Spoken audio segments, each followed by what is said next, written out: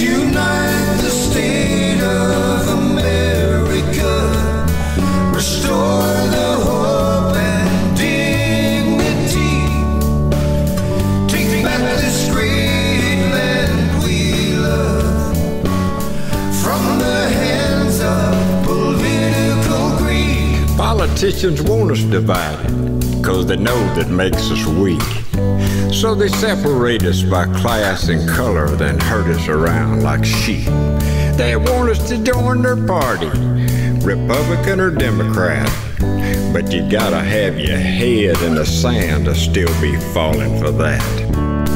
Let's unite the state of America.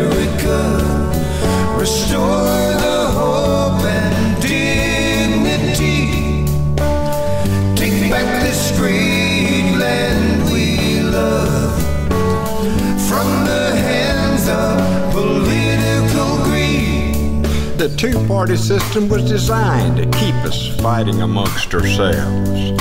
And if we, the people, don't wake up, there'll be no freedom left. They say to pledge allegiance or to speak of God has no place in our schools. But what's wrong with teaching taking pride in our country and following the golden rule?